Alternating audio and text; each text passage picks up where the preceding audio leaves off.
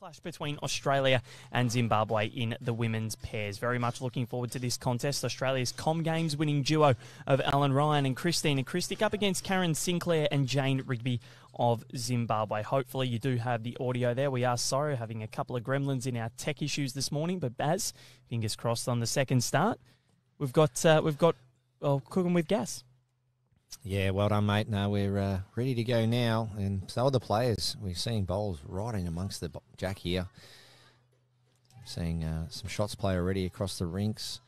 Sea of red and blue bowls, but beautiful conditions, Val, and I'm expecting this to be a really top match. Well, I thought our intro was going to be Logie Award winning. Unfortunately, the uh, the tech uh, gremlins had their say, but Baz, uh, let's set the scene yet again with uh, with this as Ellen Ryan tries to put another one in here. Zimbabwe with the red bowls, holding one at the moment.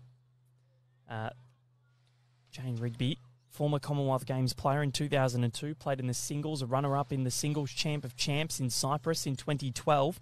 But the Aussies sitting third in their group, two wins and one loss 23 7 over Japan, 18 16 in an epic over the Swiss. Uh, they scored a five in the penultimate end to seal that one. Uh, and then 10 19 against Malta. The Maltese uh, getting the job done over them in the final session yesterday. Yeah, and that's that reset, Val. You know, you go from a certain discipline week one to coming back into another discipline week two, and you've got a formidable pair in Chrissy and Ellen, great mates. Um, they'd be really honed in and ready for this event. Certainly would be. And Zimbabwe, zero wins, two losses, and a draw 731 against England. They drew Malta 18 all and defeated by the Dutch 16 22 yesterday. So haven't been able to register a win in the pairs here. Sinclair and Rigby. Sinclair using XGs, Jane Rigby using Henselite Classic 2s, and both of the Australian superstars uh, using XGs as Jane Rigby tries to fire in another one. Has she created a problem? No. I believe that's going to be one to Zimbabwe to kick us off. They're on the board early. There's plenty of plenty of blue in there, just that one red bowl. But for me, I don't know how. Actually, no, there's still one more to Ellen Ryan. oh, there is two. Yes. Sorry. Um, there's uh, yeah, I don't know how how we can get how Australia can get that out clean and not remove a few of their own bowls. So that, Yeah, well, you look at the way Zimbabwe have structured this head, and that bowl from Jane Rigby coming coming in, she could afford to sort of crash in then because they have the surplus at the back. Australia really only have that one bowl, and it's not really in an area that can help them. So, might have to be a cold dead draw for Ellen Ryan, or um, it's going to be difficult. yeah, it's going to be. Oh, it is going to be weight. So I didn't know if it was going to be forehand or backhand. So we're seeing some form of arriving weight, looking to open the head up. She's not far away here, Ellen Ryan. She played it well. She certainly has, and we weren't sure how she was going to get it, and she was able to. So, Ellen Ryan, that is a great shot to start proceedings this morning. And Baz, you mentioned that reset, and it's it's such an important part of this sport, and your insight has been invaluable, I think, to all of the viewers uh, throughout this fortnight so far. But being able to reset at a major event, the sectional rounds, you don't have to go through undefeated. You can get through, you can lose a couple of games, as we saw in the men's triples. You just got to have that ability to say, okay, it wasn't our day, we didn't win, we're still alive. How how do you go about that? Yeah, well, wi- winning form's the best formula, obviously, but you've got to be able to prepare, be prepared in these pool matches to um, negotiate those losses. So being able to not only reset from discipline to discipline, but deal with those losses. Don't don't let them get get you down because the only thing you get, the only you get with looking back is, uh, you know, is bad memories, bad, um, you know, experiences. So if it, if it didn't quite work out, you got to grab all the positives out of your experiences and move forward with those. And sometimes we can hold on to a negative experience longer than a positive, but there's so much positive happening. You know, Chrissy and that they can even go back to last year if they like, as far as back to the Com Games or even before that. And that's the thing about this pair; they can find positives just about their relationship as as great mates, and really rely on each other that way. So when things can get a little bit down and out, grab as many positives about your experience as a pair, either on the green or off the green as friends.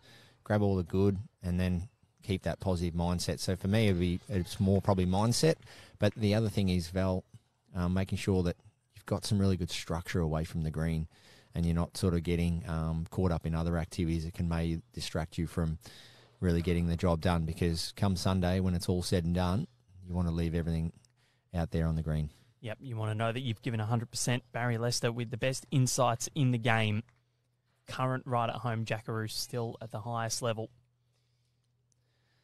Chrissy on the forehand, just have a good look at her technique there, Chrissy, throughout the day. I'll, I'll give you a bit of an insight to how Chrissy goes about it. As much as their deliveries, Chrissy and Ellen look slightly different, there's a lot of similarities in terms of how they do set up and, and get, get the job done. Chrissy, lovely shot there. Beautiful. Just around that front bowl for two. Led brilliantly the other day in the women's fours when we covered them, Barrie. That famous win against Scotland where they were down, I think, what was it, 12 0? Yeah, that was an amazing victory. It's probably probably one of those victories that you sort of you, you don't want to be ever 12 0 down, but you definitely don't mind a victory where you do come back from something like that. Um, because once again, what that does to the mindset just gives you that belief that anything is possible, whether you're down and out or or you are well in front. Once you do it once, I think you, you keep that belief and say, you know what, I've come back from this before. I can do it. It's not like it's hard, but I've done it. It's actually achievable. Oh, most definitely it is. Um, I think doing something gives you that belief, doesn't it? Yeah, and that's where that reflection's really handy, Val. Um, try and reflect on those positives and uh, use them moving forward. And that's uh, all about that mindset. Ellen Ryan just trying to get in behind here. Any jack movement starting to really favour them now. So we've got uh, we're playing in the east-west direction here. So see the fair few shadows from the players just as the sun's coming up, moving its way. Wow, that works. Half bowl and a wiggle up for the jack. Certainly does work. Zimbabwe would be relishing this opportunity, and Karen Sinclair has also played in the World Champion of Champions back in 2017 at St John's Park, I believe it was. Yeah, I remember that. Wow, that's um, that's going back. Well, Ellen Ryan, it's a bit of a. There's a lot of action happening already here off Yeah. uh, off angles. So, Yep. um, Ellen Ryan getting result there, just being up and being in the area. Um, yeah, St John's Park. Now we, we tested ourselves on a bit of trivia yesterday, Val, and Oh, yeah, especially the- about the BPL and nine nine and all that. Now, Yep. when you talk about St John's Park Champion Champions, um, I'm gonna have to try and think, think of the year and the winners. So just leave me with that one. Okay, let me get the page up for you, and then so I'll be able to actually give you the answers. And I don't uh, claim to be a uh, uh, encyclopedia of lawn bowls at all. Um, you're pretty, but you're pretty handy, Baz. but um, and yeah, but there are some some events that sort of stick out to me and Okay, there were two in Sydney, and I believe that they were both at St John's back to Park. back. Yep, 17 and 18 they were. Okay, okay. Well, So Laura Daniels definitely won one of them Bang. from Wales. Yep, 17. Who won 2018? Well, we'll- we'll stay with 17. So that's the female winner. The Yep. male winner was Do you need a country? Hong Kong, China. No. All right. Uh, leave me leave me with that one. Uh, Ellen Ryan on the forehand here. If she can get down under her um, under Kristina's front bowl, sit the red bowl out, could make two if she gets it neat. Bowl onto Jack maybe. Oh, a little wiggle through. That'll do. Carolyn, okay, Laura Daniels. So Jane Rigby, what has she got here? Been playing at high level bowls or high level bowls for many many years. The Australians, I reckon that'll be a couple. Wait for Chrissy's signal before and give Baz a little bit more time to think about the trivia. I reckon the year before was here at Helensvale. Scott Thorburn and Natasha. Scotty. Scotty won 2016 and Yep. Tash won 2016. Yes, that was here. So then they went to St John's Park. Mm, Laura Daniels and who? Okay, well, let's maybe go to the next year. Um,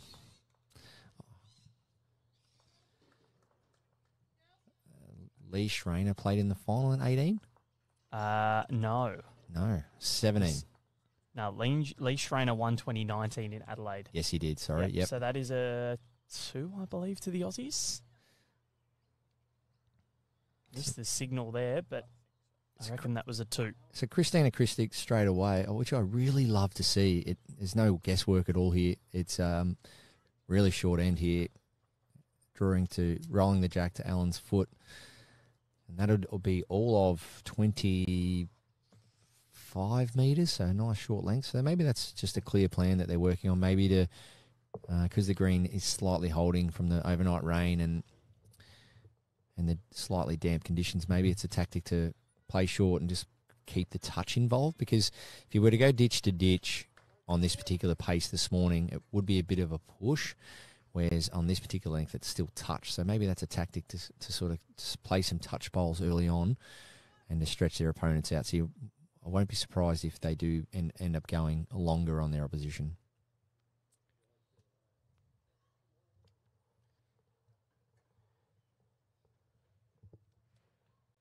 So, Baz. I thought Hong Kong China featured in one they, of those finals. They did. Okay. So it was Tony Chung. Tony, yes. Finished oh, finished runner up in 2018. 2018. All right. Yep. To who? Mm. And Tony is actually in the next stream against Aaron Wilson. Yeah, I was just so about we'll to say. I just saw him downstairs. We'll there, be covering so. him. So he, f- so he finished runner up in 2017 or 2018. Sorry, at St John's Park. Yep. Now, what I'll do, Baz, I'll give you the nations of the winners. That. So you got 2017 Wales, Laura Daniels. Yes. The women's winner was from New Zealand. In 18. Mm-hmm. Okay, New Zealand. In oh the in the men. No women. Women, sorry. Okay. And and men actually. New Zealand took a clean sweep that year.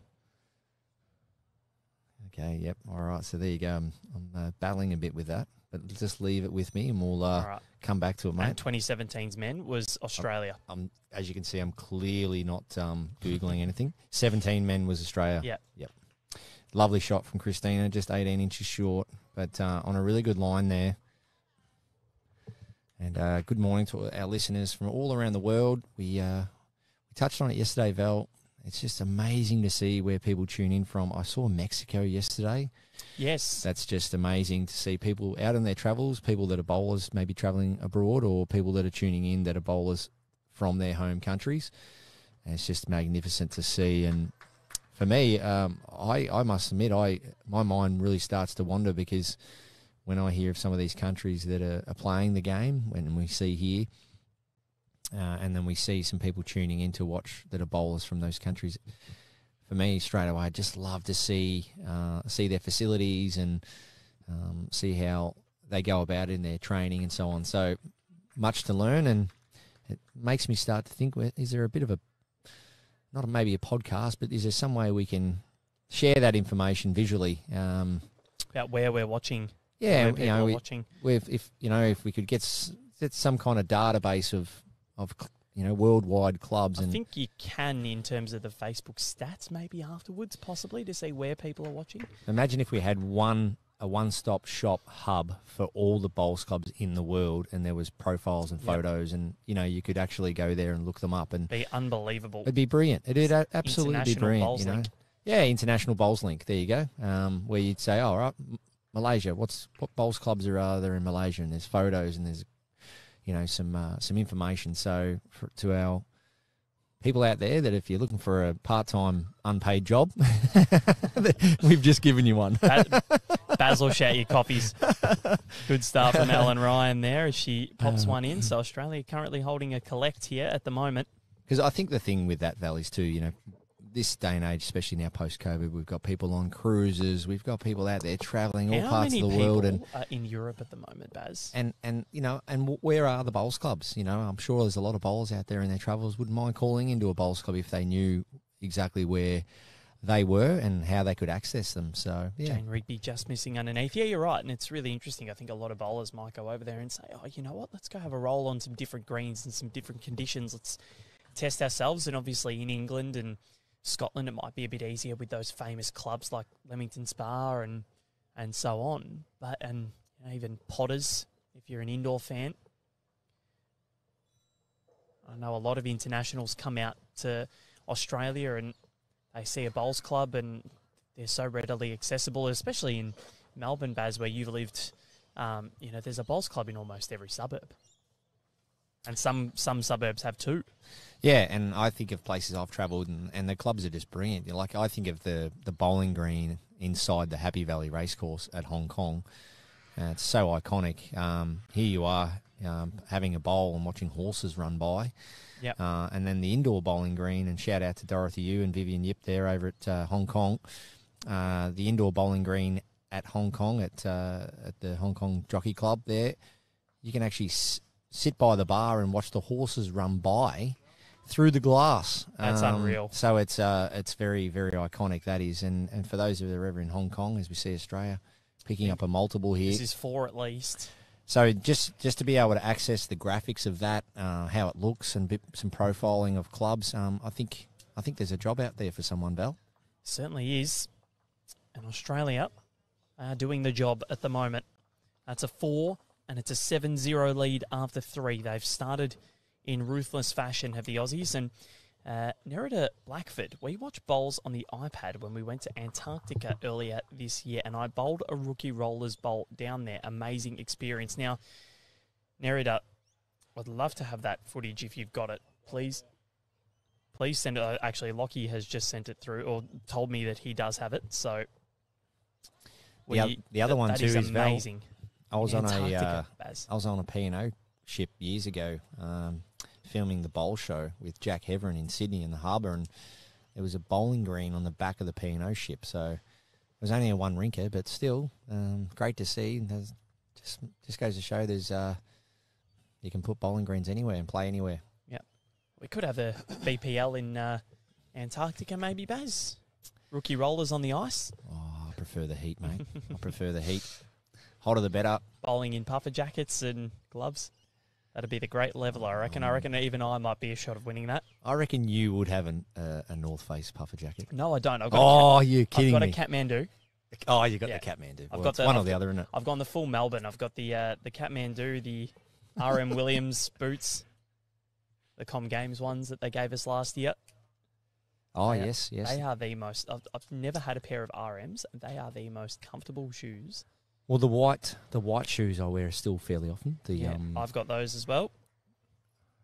Kristina Krstic. We're gonna. Um, I'm, I'm just gonna. I really want to chat about Kristina's. Um, I really want to chat about Kristina's technique. All right. When she steps to the mat for her next bowl, give us Coach Baz's insight and tell us about what works for Chrissy. So, Karen Sinclair, she's about to hop on the mat for her second delivery of the end. And just quickly, Zach Body sitting in post up ICU cheering on the Aussie gals again. Uh, we hope you're okay, Zach, and hope everything went well for you. Okay, so Kristina Krstic here, shaping up again on the forehand. So some great fundamentals. Okay, we're going to see bend in the knees, just a slight bend in the knees, and a nice strong bend in the arm. Excuse me. So what I really like about that, there's no overload anywhere, and I love the way Kristina sets up. Ellen sets up fairly similar as well. Great shot from Kristina. I love the one where you set up her delivery. She goes right within a couple of centimeters of the jack, Baz. Yeah.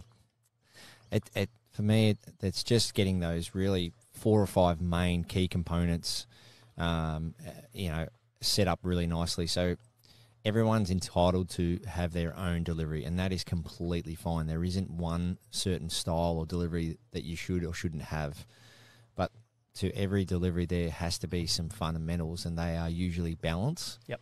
So you've got to always be in a balanced position. And one thing that helps Kristina's balance is the fact that her feet are, f- are fairly wide apart.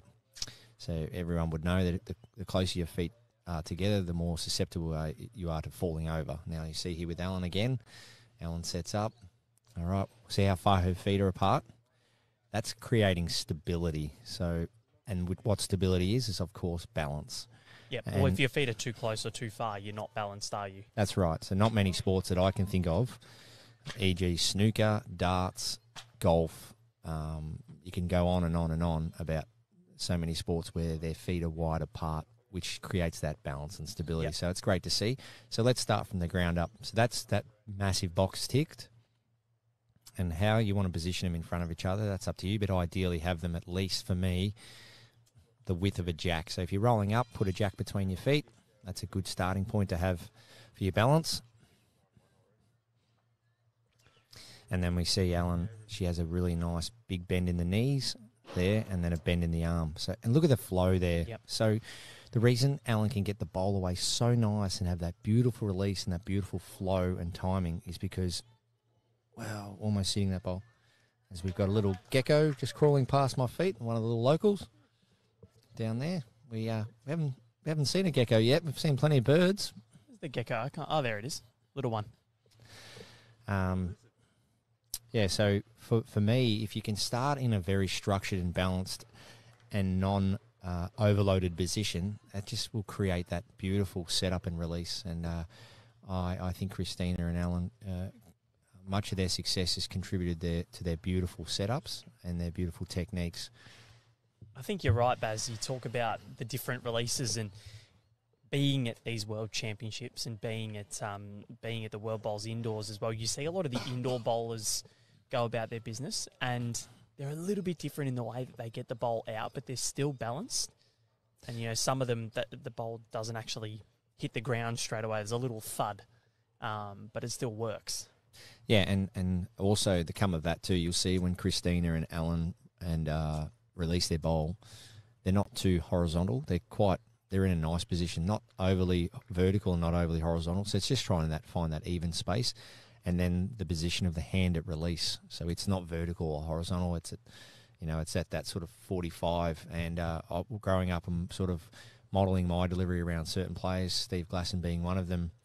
Steve Glasson's hand at the point of release. I remember they used to zoom in on the TV games on the indoor and that, and I'd pause the screen and just look at the position of Steve's hand at the point of release, and it was just perfect. Um, and he got the bowl away so so smooth. Yeah. And I modelled, you know, my delivery around a few of those players on, on looking at the, the consistent components to, to getting the bowl away well. So it's one to Australia. Sorry to cut you off there, Baz. No, Australia lead at 8 0. And yeah, you're right. It- It's so important to have a release point that, you know, just works. And, you know, there are those fundamentals that you allude to. And the, the Australians, they do get well drilled. And it, is great to see. And a lot of people now, the, the next up and coming generation, are modelling their release like you did on glass to that of Alan, Chris, That's right.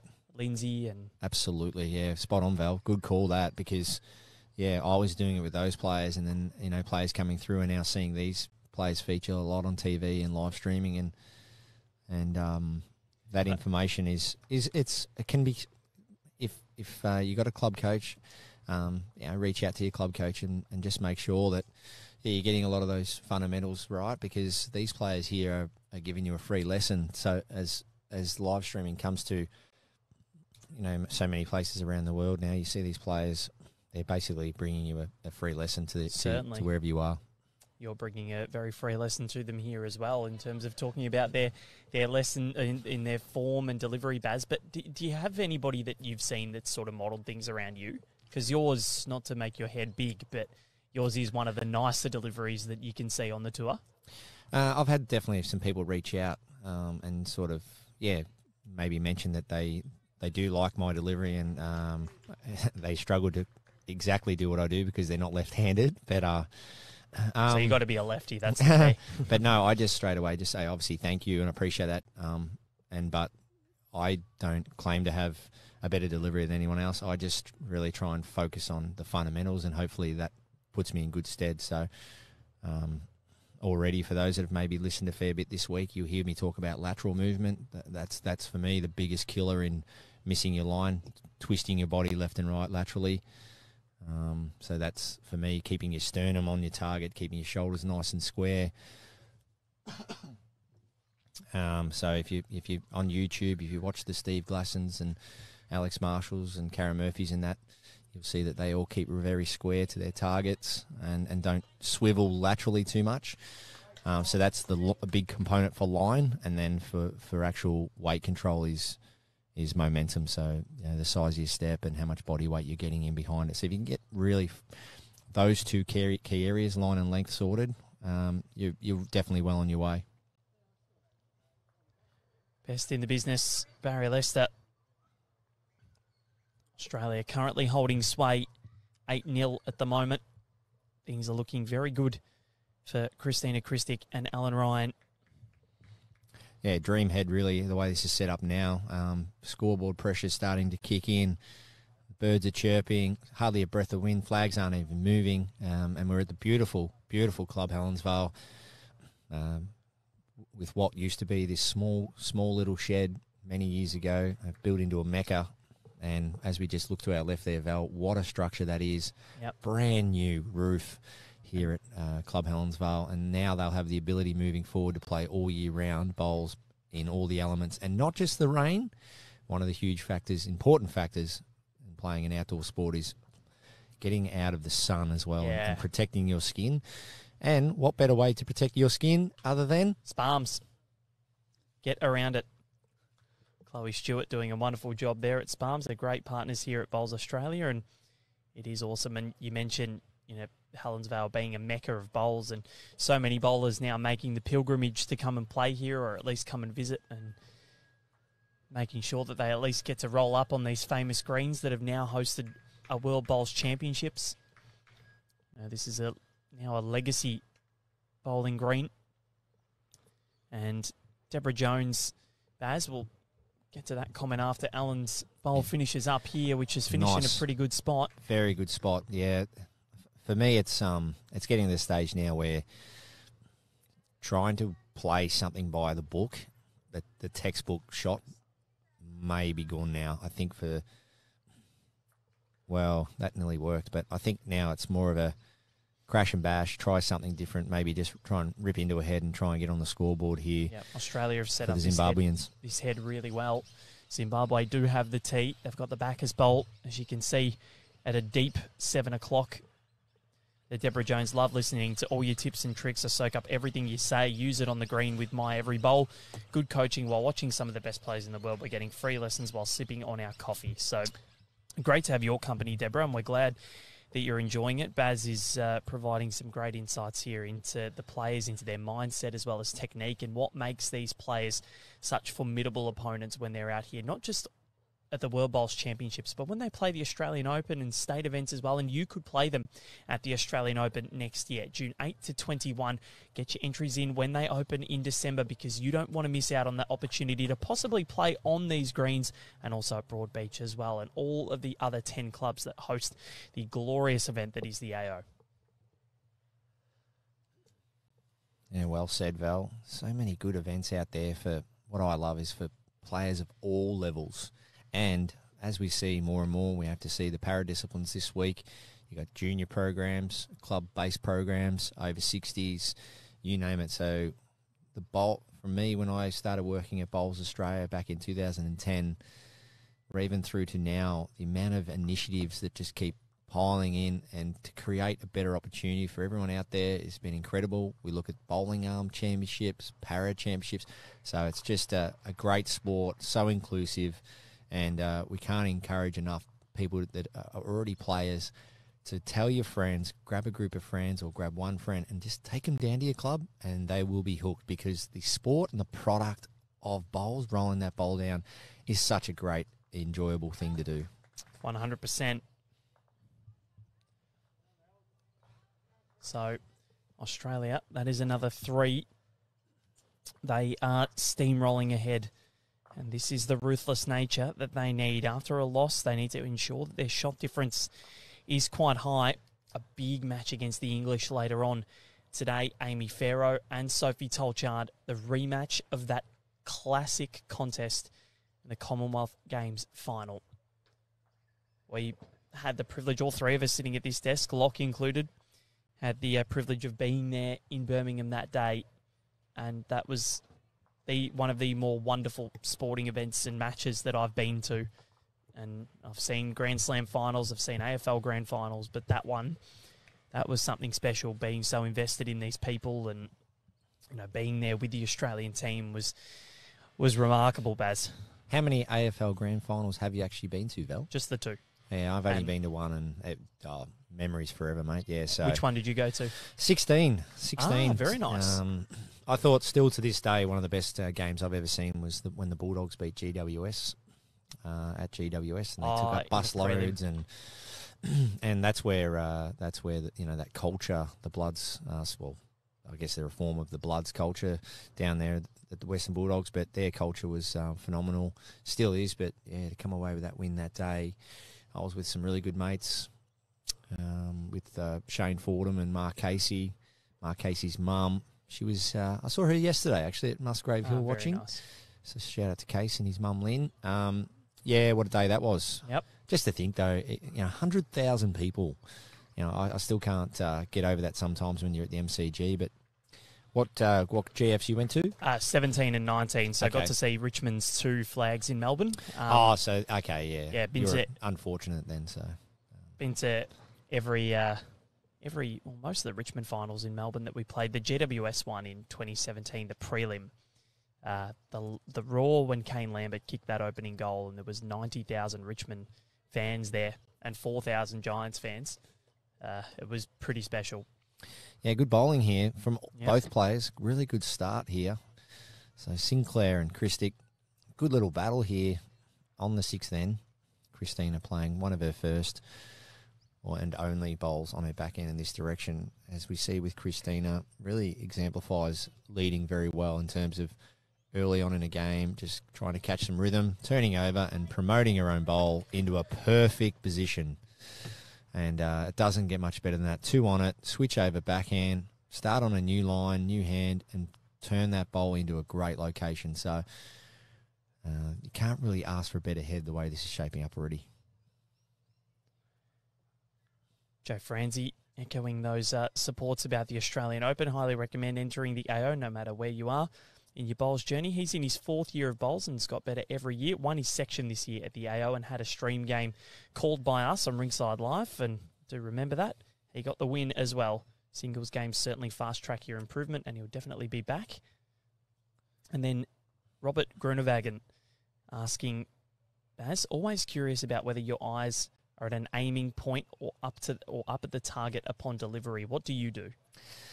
Um, well, I'll get back to that because that's very extensive, and I will try to keep it quite short. I don't want to um, I don't want to bore you with all my coaching tips, but um, but great question. I will answer that at the end of this end. Um, as we just focus in on here, Ellen Ryan, she's got a tricky little head because Yeah, well, you know what, she's onto it already. So I was just about to say that Zimbabwe have Yeah. those two red balls there. Ellen Ryan, and this is the maturity I'm seeing with Ellen Ryan. So you go back three or four years ago, trying to make her way into the team, you know, trying to break into a five-a-side in the Jackaroos environment is very hard to do. Ellen Ryan, her resume speaks for itself, but just, just trying, there's one thing trying to break in, but then when you do break in, it's having the feeling and sense that you really do belong. And I see that with Ellen. I really do. And, and it probably has a fair bit to do with her accomplishments over there at Birmingham last year, but I'm also just seeing that from how she is positioned in her life, where what she's doing for work, and just how she is just maturing all the time as that goes into a good spot. So, and Getting Ellen- married in December as getting well. Getting married, and just all those little life um, changes. I just have this sense of great maturity out there and great rink presence and, and leadership from Ellen. And that's what I'm really loving about Ellen Ryan right now. And whether it comes in the way of a gold medal or it comes in the, in the way of a fifth place, for me is totally irrelevant. As we see a great shot there. For me, it's just the way she's really being a, a mature jackaroo out there and, and just leading her friend Chrissy into these battles and and it's a great sign. And just the way, you know, she chased after that second bowl and so really good signs for Ellen and um, I'm sure that she'll get many, many more rewards coming in the way of gold medals in, in many years to come. And of course, hopefully a couple of more BPL titles with me. of course, BPL 18 coming your way in the second week of November at Club Pine Rivers, the tournament's spiritual home. Barrie Lester will be back with Gary Kelly and Ellen Ryan and Jeremy Henry as the coach. Great shot, Ellen Ryan. What a head of bowls, Val. This is This is sensational. Nothing outside of the two metre mark, well, or maybe the one metre mark, Barrie. you could you could literally chuck a blanket over that. It's just amazing. This this I know the conditions are perfect, but that is an unbelievable head of bowls. It is. So Zimbabwe have every bowl inside three feet of, of the jack there. It's incredible. and the Great head. Aussies get a second. They are steamrolling ahead here. 13-0 and it's been a clinical start. That was a really good good head from both teams, but Australia still managed to come out with the multiple and Ellen played game 150 for the uh, Jackaroos yesterday against Malta. Unfortunately, they couldn't celebrate with a win, but already at such a young age, she's ticked over that 150 mark and playing so well. She's accomplished a lot in that time. But yeah, looking forward to the Bowls Premier League. Now, stay tuned next week because we are going to, or maybe the week after, we haven't quite decided yet, but we are going to be announcing those teams. Of course, we're not going to do it during the. Uh, Ooh, during you the- sound like you got a bit of a surprise for us, Val. oh, there's some news. There's some news. there's a couple of changes, not my too ears have many, Just pricked up a little. but there's a couple of changes, and we will be announcing those in the next couple of weeks. But obviously, didn't want to do it when the World Championships was on because it would get Very. absolutely dead and buried. Very true. Stay tuned because announcements are coming. We all we all love the BPL. Very very excited. Okay, where do your eyes look when releasing a bowl? Now, where my eyes look um, is up on the bank um, or beyond sometimes, depending what my target is. Um, so I basically find the widest point for my line, which may be, I put a number on it, say five or six or seven feet wide, as we've spoken about a lot, Val, with the, the drawing of these greens. As you can see, these these greens are, this morning are drawing around about five feet. Chrissy, nice shot.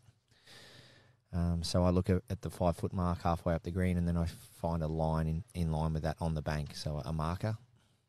And my job is just to get the bowl out to its widest point. That's my first job to get my line, uh, and that for me is just easiest if I look at the bank and find a spot. So it might be a it might be a random thing, it might be a scoreboard, it could be anything. Uh, it might be something well and truly be beyond the green, as David Bryant has famously spoken about. He might have Beyond the green. he might have looked 20, 30, 40, 50 feet beyond the green and found a target. And what happens there, once you're fixated on a point, your concentration levels need to be so high to be fixated on that point. Really doesn't let any other anything creep into your sight. But there's a catch to that. you might be someone that isn't very good in using their peripheral vision. And that is a peripheral action. So delivering the bowl by looking at something say up on the bank, you're not looking at the release point of your bowl out of your hand. So it's not easy to do, and it has to be something trained, but something that you're comfortable with. And you're, if you're not comfortable with it, I don't recommend you do it. So the next best thing is do you find you bring your way from the bank down onto the green and find somewhere you are comfortable, and then fixate on that. So that's the best I can explain it. So it is horses for courses. It's not something I tell people to do, but if they are comfortable in doing it, um, they can give it a go because using your peripheral vision when delivering a bowl, uh, it's like kicking a football. Some people like to kick the football, watch the ball onto their foot. Some people like to look up at the target they're kicking at. So it comes back to what's comfortable for you. Um, so that's the best I can explain it there, Val. But me personally, and I know a lot of other players, um, you know, around the Australian environment, international players, you'll see in photos and, and videos that their eyes are well and truly ab- above their target, up on the bank or beyond the green at the release point. Coach Baz has kept Anne Norton away from her housework. Oh well, there goes the housework again. Can't seem to drag myself away from these awesome bowls games, and of course Barrie Lester just giving us insight after insight. So Zimbabwe currently holding one here, looking to get themselves on the board. We're on N7, and Australia lead at 13 0. They have been clinical here. The Commonwealth Games winning pair of Kristina Krstic and Ellen Ryan, Western Australia and New South Wales. The honorary Mayor of Goulburn, Ellen Ryan, got the keys to the city last year after that Com Games win.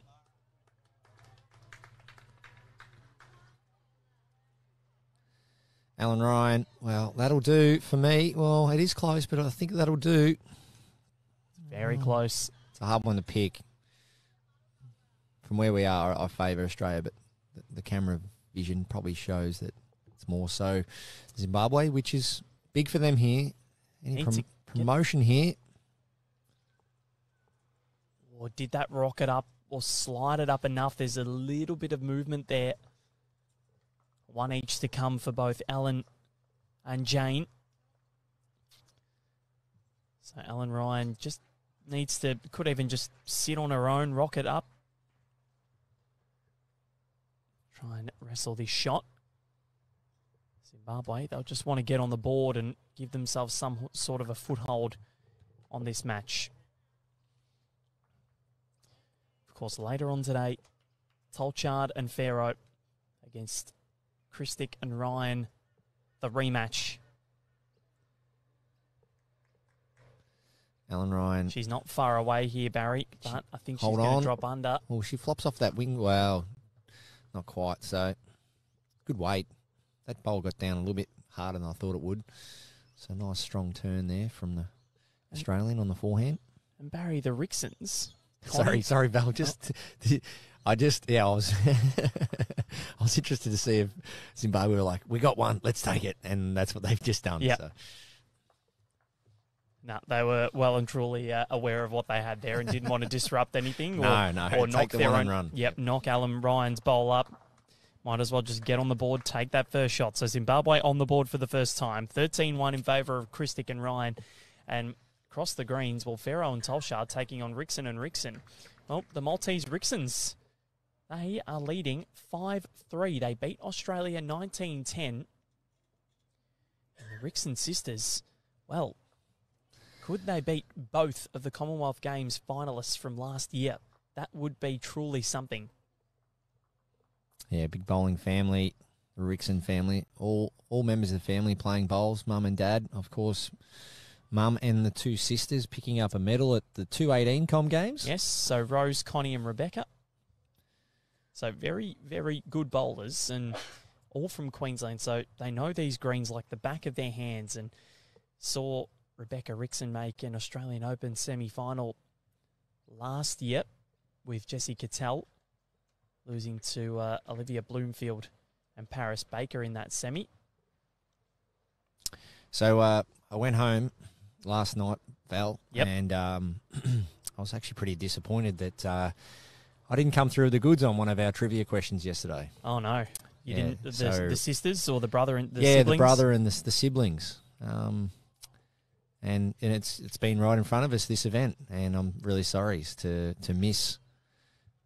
Uh, well, I'll, I won't actually tell you. I'll let you sort of guess. But Scotland, of course, Scotland. yes, uh, they have a, a, a brother sister duo at the moment in the men's and women's team. Hmm.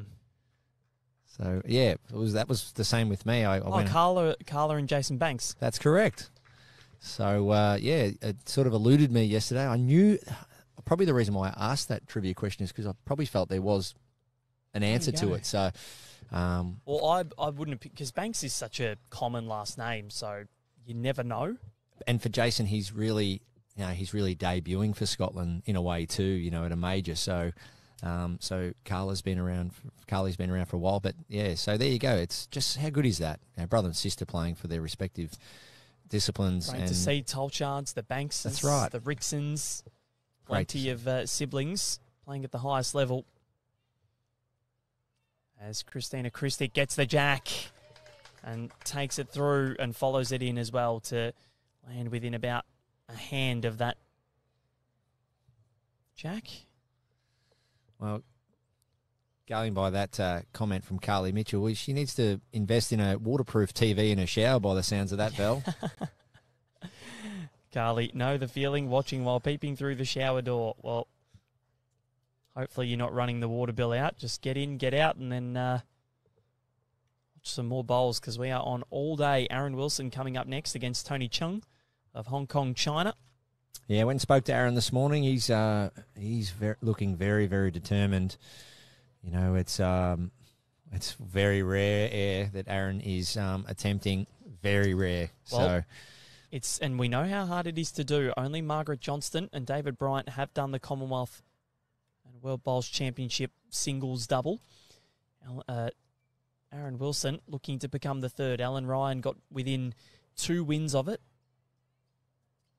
Lost to Taylor Bruce in the semi-finals. Was quite close, but then Taylor Bruce on green one right here at Helensvale got the jump and then beat Kelly McKerihen in the final. Yeah, I'm just trying to think. Steve Glasson, 2004 men's world champion singles gold medalist uh, against Alex Marshall in Yep. Ayr Scotland. And did Steve get bronze in Manchester in the singles? I think he might have. He did get a bronze, I reckon. So I reckon up until up until uh, well, Ellen well, Ellen got bronze as well. So they'd be they'd be equal, wouldn't they? They'd be right up there. So Yeah, Steve so- Glasson at the Commonwealth Games went to. No, he didn't. He didn't. I don't think he did get a medal. Very very. I think Let's have a look. I think Glass might have played for for uh, for bronze in 202, um, or, or very close to it. Um, but that that singles that singles win for for Alex Marshall, uh, sorry for Steve Glasson against Alex Marshall uh, at Ayr in Scotland, uh, 2004. Well, if there's ever a game you'd love to sit down and watch, I have watched that game quite a few times. Um, it, it sends chills up your spine. Um, what an amazing win! Not only to to win the world outdoor singles, but to do it in front of uh, a Scottish crowd uh, against you know the great Alex Marshall. I've uh, it's pretty. I don't have it on DVD. I've I, I've definitely I'm pretty sure I got it on VHS, which I've got to actually go back and convert a lot of them. Val, it makes me feel old, but to my old VHS videos, I've got to get them converted and maybe even try and put them online somewhere. But that game there, um, wow, what a match! 2004, and Michael Wilkes there, he was there playing, and he had um, he had a few of his supporters there, and um, great Kelvin Kerkow and a few others. So that that win there really was uh, an outbreaking win, and Glass was so close to, the, to four years before that in in Johannesburg, and so shout out to Steve Glasson, um, of course, former Jackaroo coach, um, leading in was part of the part of the World Championships leading into 2020, uh, and then stepped away and Gary Willis took over. So Glass, well done to all your work you've put into setting up, you know, the teams and Yep. contributing to the Jackaroos program uh, to see that these athletes out here we're witnessing now, definitely you definitely had a big role to play in helping them be where they are today. was the coach of a lot of them, and Barrie Karen Murphy got within a couple of shots of that Com Games World Championship double, and we'll get a score confirmation here. But that is another two to the Aussies, who moved to a 15-1 buffer. But Karen Murphy in 2002 Yeah, silver, in silver Manchester, as well. Yep. 21-19 to Siti Zalina Ahmad. and that that's, that was a, another big win um, for the, for Australia, I guess, with Karen winning the silver there. Massive effort to to take um, to take Lena all the way there, and um, and then of course Karen turned it turned it around in in twelve, got the double twelve and sixteen, the uh, outdoor world singles champions. She was the reigning champion for 11 years. Yeah, incredible. Great starter, Chrissy. So Australia really travelling well here. It's um as I mentioned at the start, right off the top, beautiful conditions. Flags only just starting to move a little bit now, but down here at ground level, hardly a breath. Beautiful, isn't it? It is, you know, just a little bit of moisture in the green. Uh, so bowls are sitting down nicely. And the flags that we are looking at Canada, New Zealand, Australia, England, four of the gold medal winning nations from the weekend. I think the only four. Canada, oh, sorry, Canada didn't get one, but New Zealand, Australia, England, absolutely flying. So Kristina here, that's really good. So that there is, some may say, oh, that's a bit of a wayward bowl, but that's almost perfect. So, so many things have been achieved out of that bowl from Kristina. Yes, it would be nice to come down and sit the bowl or pick the jack up clean, but the fact that she's played really neat weight, she's played about six feet of weight. Ellen Ryan looks at that head now and goes, Well, I've just got everything going for me. I've got a target to run into, but I've got the luxury that I've got a bowl there waiting for me. So, three bowl pairs, as much as you want to smother the jack all day long, you have no future at all in trying to perfect it and falling short because Ellen Ryan, she'll be confident playing this shot because the heads remained open for her. And so, well done to Kristina. Not only is she playing well, but she's playing the correct weight when asked to see Ellen just standing a yard behind the head. And look at this weight control. Perfect weight. turn the bowl up. Kristina Krstic. phenomenal leading and great, great weight control from a lead, and and that's where you know a big part of leading is important. Your weight control also to be able to know that yes, you got to get close, but when asked, like Ellen said, to play a yard of weight, you can play it, and there you get the results. These two, such good friends. The narrative of that Com game is just remarkable.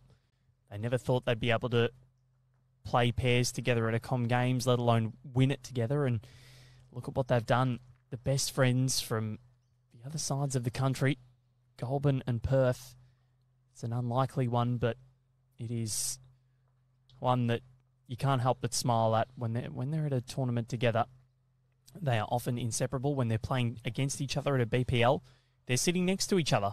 Yeah, and what a journey! I actually uh, made up a, a little video for the girls, uh, having known the girls for quite a while now, seen them come up through the ranks. I, I grabbed about um, Uh, oh, because I had a lot of footage from the Com Games, obviously being rinkside, and put a little timeline video with some music and that over the top for them, and they absolutely loved it. And it went right back as far as I could ever remember seeing them play together, which goes way back so many years ago, and just to see the timeline of achievements and, and some setbacks. There was some events there where they they couldn't quite get the job done in some finals and so on, and just to see the journey that they went on from um, domestic level here in Australia to international level, and um, for me, that's probably the the best part of it when you see a pair like that achieve the, the, the highest heights, knowing what the journey looked like, for, you know, all those previous years and and there were some there were some disappointments and, and some setbacks, but you know, all in the end, you just keep believing in one another, keep enjoying each other's company, and anything is possible.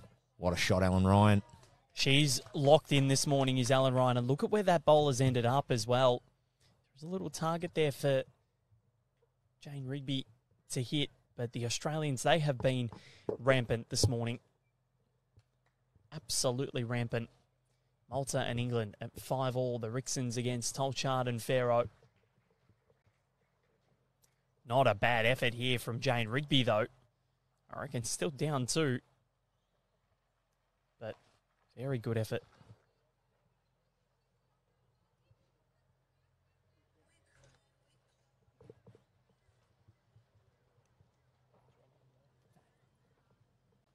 That's just showing us the video here of the two of them and what they've achieved and them together at the opening ceremony. Yeah, so I just want to give you a little bit of an insight to the athletes here. So, Ellen and Kristina living opposite sides of the country, staying well connected as good mates, playing in the Australian Opens together. And look at this for a shot. That is just class. She's yeah. just so good. Uh, just p- perfect touch, but just backing the, the line there, that nice arcing draw hand. So, yeah, living on opposite sides of the country, but um, yeah, just when they can, as we see, both partners walk in the door together. So there's another example of how tight they are as a pair. Marcus and Mac. Marcus and Mac walking into the complex here at Club Helensvale, and welcome to them. And both would be taking time off work and uh, obviously travelling up to the Gold Coast to support their partners. So, and look at them; they look so happy to be here, and uh, they would have formed a great relationship as as friends as well. That's great to see. So that's another multiple to the Australians. I reckon that was a three there. No, that was a four. So it is 19 to 1 after 9. We are halfway through this, and the Australians, well, they have zipped away. And look at the replay here. Ellen Ryan arcing it in yeah. to perfection. Yeah, she uh, played that bowl earlier, remember Val, that really yeah. ripped across the screen. And, uh, understanding uh, the green, the qualities yeah, of the green. Ah, spot on. And um, yeah, just gave it a bit more height and let it work in and got the reward. So reading the rink, your, your rink management, knowing what, what parts are turning more and so on. So, and that's this beautiful green again, once again at Helensvale. Green three up the top here. Now they do something here that I've never seen at any other bowls club. Val. What do they do? The golf cart that picks you up from your car and takes yeah. you to reception. It's pretty awesome. Now, did you you didn't, did you? Did you get in? oh, I have done. I remember when I first saw it here Come back on, at the A- Asia Pacific Games in 2019. I actually grabbed it from the van uh, up in the car park there down to reception. Um, just made a bit of a fun a bit of fun about it. Yeah, we, we almost did when when Locke and I got here. Matt Lucas offered to get us in there, and then uh, the key wasn't in, so we ended up walking. But but what I want to touch on is is you know how good is that from the club to say all right we're going to invest in buying a you know I'm sure it's not cheap but No, we're going to invest in buying a I reckon it'd probably seat maybe six people uh, a little golf um, golf c- uh, cart with overcover because of the rain and so on. And um, we're going to pick you up from your car and uh, and drive you down to reception. So what a great little initiative. I do lie though actually. I did experience it recently at Warilla we uh, we arrived at Warilla recently in, for an event, and um, they they take you to your cabin out the back um, if there's if the weather's bad. So there you go. But no, it's something you don't see very often, is it? A golf cart taking you from your car to reception. no, not at all. And it's a great initiative here from the uh, Club Helensvale hierarchy to get one of those in. As Chrissy looks to pop in her third here, currently got one right behind the jack, and spoke to Chrissy on the right line before the uh, World Championships, Baz, and I asked her who she says good morning to first, whether it was Marcus or Ellen, but tends to be Marcus because he leaves early in the morning. But if it was uh, if it was line ball, Ellen is the first person that she messages. Right there you go. So that's how close those two are, and I think Ellen probably says good morning to Chrissy before Mac. So that's how close these two are. Yeah, it's it's great to see. You know, it's um that's what the sport's all about. You know, we we heard from Ellen Falkner the other day saying that Amy was representing England, and Amy, you know, is her best friend, and she's the godmother of, of her child, and, and and all that. So that's where friendships in sport can go, and they can last forever, and you make these memories up along the way. And yeah, I uh, I must admit, I've made some amazing friends out of the game, and the hardest thing is not being able to see them all the time. So you try to catch up where you can. I'm a big one for re- reunions, to be fair. Yep. Uh, just like football, I think if you, I encourage, especially anyone out there listening, if you've won something, even if it's a club pairs, uh, club event, um, pennant event, anything you can um, trying to get set out to achieve with your, your teammates, your club mates, try and get together 12 months later. Um, it's just a great way to to find a way to, to catch up and, and share in some memories and share uh, talk about the good times and um, always a big one of um, trying to do that and and I think those reunions they always look like they're having fun especially those AFL boys they Yeah, you see them 10 years later after winning a flag and they uh, they all get together and, and you know they bring their wives and families along and, and all stay connected it's just great to see and I'm a big one for that um, Yep. And on which I'm sure you know you look at the men's triples the other day Aaron and Corey and Carl for an example as Ellen draws another one you know in 10 years time no matter where their life has, has taken them and where they may be I'm sure they'd all love to sit around one day and have a lunch and, and talk about the, the good times they experienced here on the greens at on the Gold Coast during these world champs. maybe just head back to Helensvale, get a parma, and That's right. It, it is a parma, isn't it? Well, coming from two Victorians, yes, but I think we're we're well and truly outnumbered. However, Yeah, we're in palmy territory up here. we mate. are, but we disregard it anyway. Because you don't say Parmigiana, No. you say Parmigiana. Yes, yes, that's right, Val. We've got to uh, make So- sure that we keep that tradition alive. Exactly. Can't beat the old chicken parma. It's funny when I uh, I've travelled overseas. Sometimes I've actually went and saw the chef and said, "Can he or she make me a chicken parma?" I, I do sort of miss my chicken parma when overseas for a certain amount of time. Yeah, I did last year at the uh, at the Com Games, and then afterwards, I had a I had a veal parmigiana at a um at a restaurant I went to in London, but I didn't realise that that everywhere else they put eggplant on it. No, that's a big, big no. And you you don't do that. Not at all. So Ellen Ryan just turning her back on that one, She's just falling short. So we're just just seeing the score line here. If you if we took the score down off this screen, um, there's no way where you, where I think the viewers would say that there's an 18 shot deficit here. No. The Ha- heads have been so congested. The Aussies have just been locked in. Their line and length have been magnificent. And, and look at this, for example. This is what I'm trying to get to here. Look at this for a shot. You know what I mean? Like three down to one up. What a shot from uh, the skipper there. Jane Rigby getting the job done. They are going to measure here though. Trav Nortia signing out from Zimbabwe, 1.30am here. Good night to you. Might see you in a few hours' time. Let's see. and that is one to Zimbabwe. So they are back on the board. Another end for them. And Australia, they are, or it was a multiple for Zimbabwe.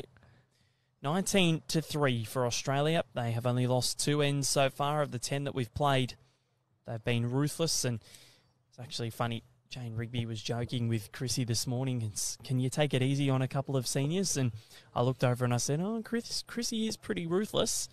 And the Aussies, well, they have just not let up. They've been awesome today. Zimbabwe have not gone badly at all. Anton, I know it is spelt uh, like that, and I am Italian, but you don't say Parmigiana. Don't think so, anyway. Don't think I've ever heard my nonno say it like that. Yeah, I'm I'm a big fan of Italian food. Mm. Val, I've got- Mario's in Broadbeach, Baz. Have you frequented it? I have, I have, but I, I'm sorry, I have to be very biased. Um, my friend Melinda Aloisi, she growing up in Gippsland, Victoria, she owns and runs with her beautiful partner Wani two Italian restaurants in Melbourne. Miss Frankie in Lygon Street and in Cremorne, Richmond. And if you're ever in the area, check out Miss Frankie. You can actually watch the food being handmade behind the glass kitchen window there. Pure homemade Italian food. You cannot, for me, I, I just can't beat it. Yeah, it's I'm not a spicy man. So no, neither am I. so I'm lemon and herb food and really Nando's type spice. so, um, geez, all this food talk. We're gonna stop, mate. Where it's too uh, Yeah. too early for that. I've But not um, eaten. I've only had the coffee this morning, so I'm pretty hungry myself. um, so Karen Sinclair, beautiful weight there, just missing under, but um, two really nice shots in the area there. But um, yeah, I do it, definitely love my Italian. Get some really nice fresh homemade meatballs. Well, that's I'm done. Put Yep. a fork in me.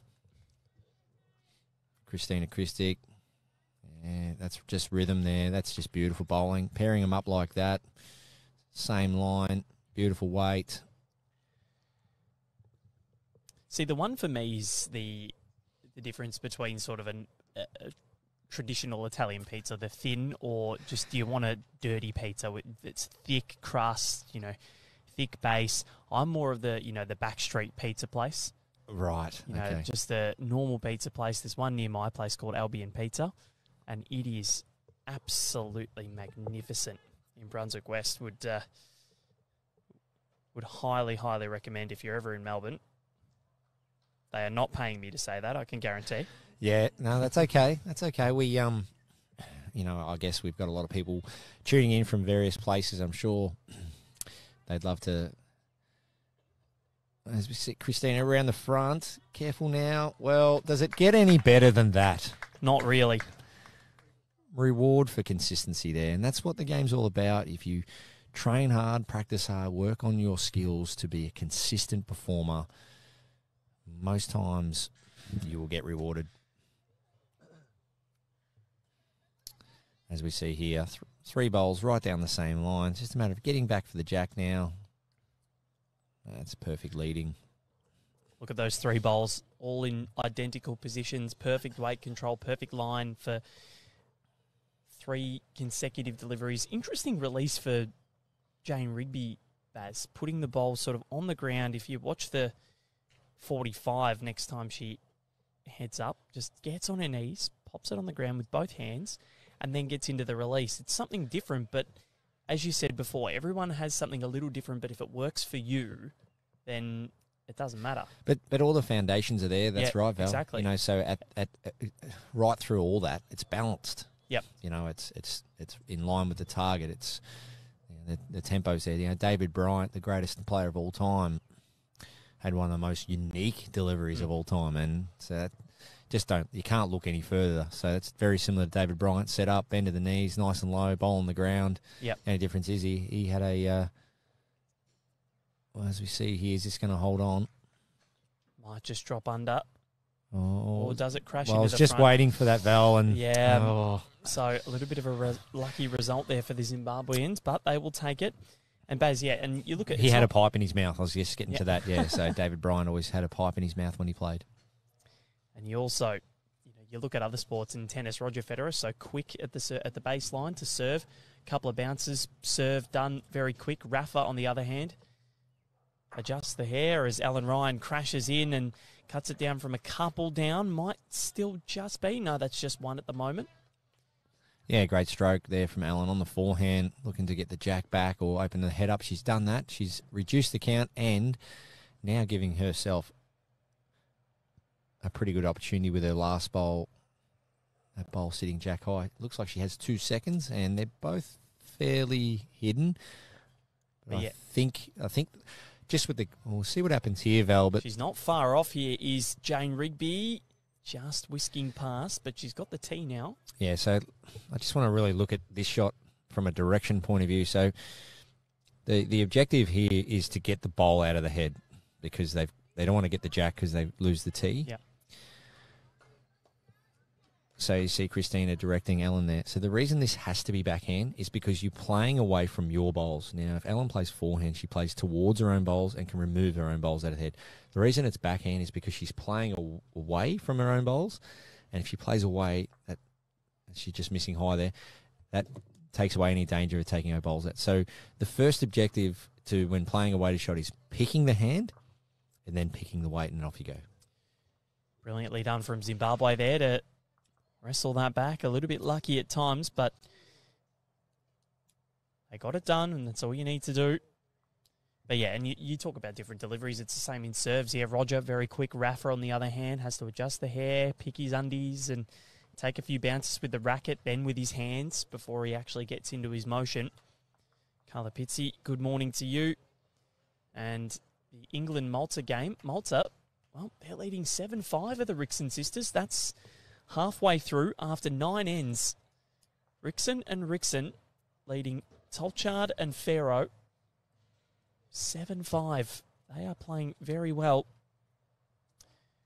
David and Heather, I remember watching a young slip of a girl rolling bowls down the greens at Goulburn Railway Club back in around 2010. Never gave a thought that I was watching a Bloomingcom Games slash World Champion. She hasn't won one yet, she's won a Com Games, learning her trade. Should be looking to win a World Championship here.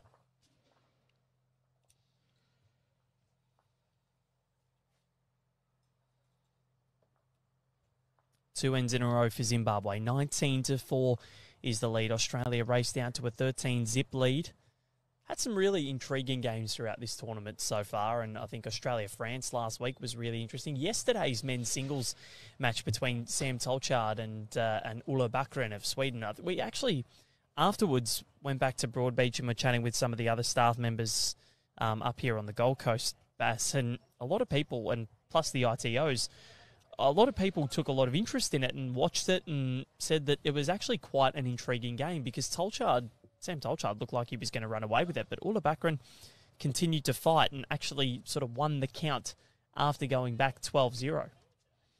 Yeah, I, I did something similar. I spoke to a couple of players when I went back to the club as well, Val, and um, yeah, they all they all uh, rated him and just said, you know, he he's got that knack of being able to, you know, convert and, and hang around and you know, sort of scare opponents. So so well done to him. Um, but yeah, it was it was also a great example for Sam, someone that's heavily favourite to win the game to just to stay patient, keep his wares, and and know that you know consistency will always sort of show out in the end. Um, as we see, pretty much the longest end of this match so far.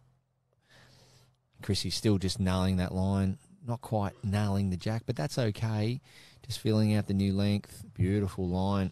Chrissy's technique is so sound at the moment. Just watching it side on, especially, really looking um, match fit. I would probably put it as we see the result here just falling slightly short, but all over the line. So th- that's where the players are at now. As we see, you know, the, the the heads nice and tight today, but they're just in their groove, into their rhythm now, and and uh, players really setting up with their prep and their and their recovery to to make sure that day in day out they can keep getting it done. It was, of course, Chrissy's front hopper in that fours match against Scotland in the semi-finals in the extra end that got the job done. The other three, Lindsay was saying, we just didn't want to get near it. After that, protect the jack, and Chrissy was one of the main reasons that they got through in the end to the final. Unfortunately, was the England quartet that got the job done from an Australian point of view, but a great story to see England and Krstic against Pharaoh and Tolchard in another final. This time it was England that got the uh, got the chocolates.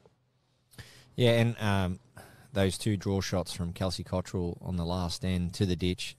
Green was quick. Oh you, yeah, you've got a massive crowd. You've got um, that well, crowd was like a fifth member. It was, and and sometimes, you know, sometimes you can le- use the externals for uh, you know to, to to back you up, or you can use them to, against you. And that particular day, like you say, there was oh, at least two or three hundred people there crowded around that particular rink. And when Kelsey drew that second shot to the around that sort of four to five foot mark to, to get two uh, to pick up a three to go to an extra end. Yeah, what a great atmosphere. You can't. You're probably as much as you want to try and play, yes, at the the highest level, and you want to play the big games, but from an atmos- atmosphere point of view, it probably doesn't really get much better than that. You know, nice, warm, sunny afternoon, Broadbeach Bowls Club, World Championships, big crowds, and they're all cheering you on. So um, the Aussies come away with a massive win there in that semi, and and uh, and what a great final it was. England took on Australia, as we see.